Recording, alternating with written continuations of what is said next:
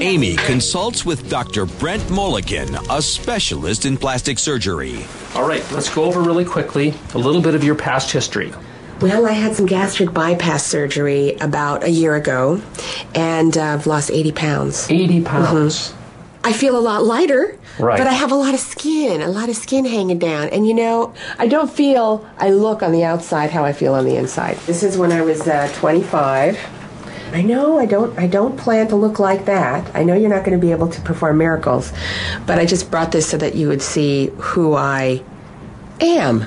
I can help your eyes a great deal, but your eyes are forward set. So I need to be very, very careful not to allow your lower eyelid to pull down and not to allow your eyes to become more prominent.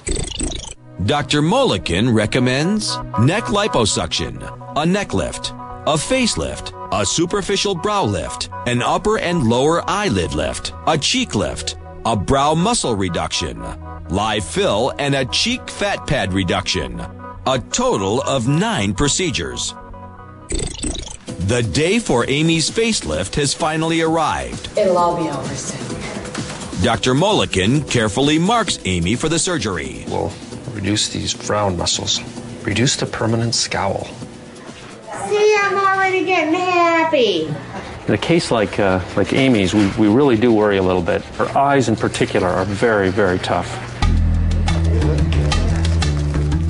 The surgeon begins the first of nine procedures. Through an incision underneath the chin, Dr. Moelleken liposuctions Amy's neck. So we're just continuing to get a lot of fat from underneath the chin. Dr. Moelleken moves on to the platysmoplasty, the neck lift. Now that we've removed a lot of the fat, the muscle is just hanging there.